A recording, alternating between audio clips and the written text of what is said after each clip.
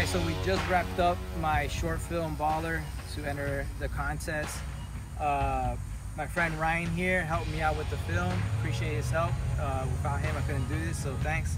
And then also, uh, as far as the equipment, I'm using a Sony a7 III, a Sigma EF to E mount adapter, and then also a Canon 50 millimeter prime lens, and a newer uh, monitor.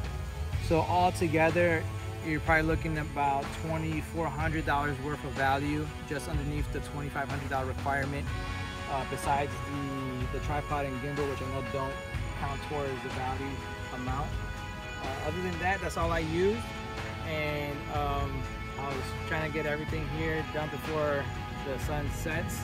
And that's it. This is hard to tell with this small screen. Alright, I think I got you in focus.